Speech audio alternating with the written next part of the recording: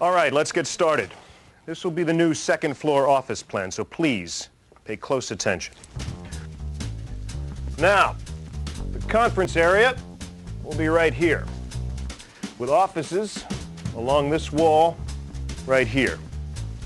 The bathrooms will be located over here, and the mailroom will be up here. Storage closets will be located here here, with the main reception area here. Got that? Good.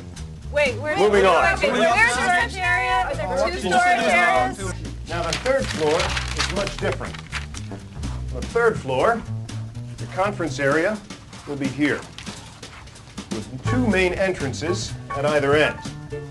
Now, these lead to hallways, take us down to two large offices, which of course connect with the conference area.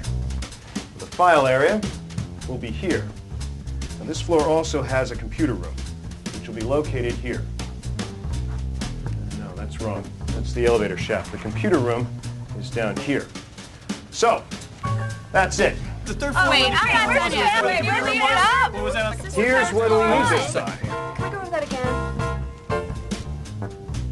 Good luck. He's kidding, right? I hope so.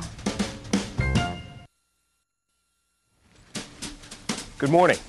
Now, when we look at an opportunity to buy a stock, we need to look at several options. Let's take TechBuy, for example. We need to look at PE ratios, profitability, and cash flow. And we need to see how last year's profits compared to this year's profits.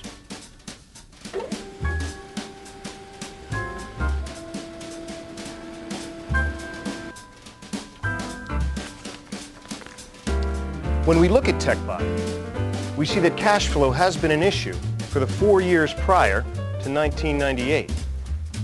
Okay? Let's look at sales. If we go back all the way to 1992, we see that there's been a few dips in sales. But profitability was at an all-time high. That's because the cost of goods was cut by 60% in 1993.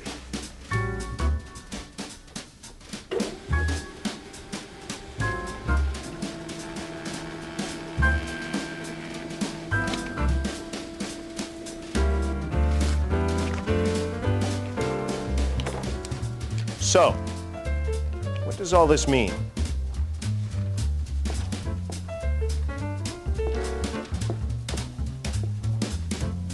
I'm going to email this to Nancy in our Paris office. She could send it out to the entire sales force. Great idea.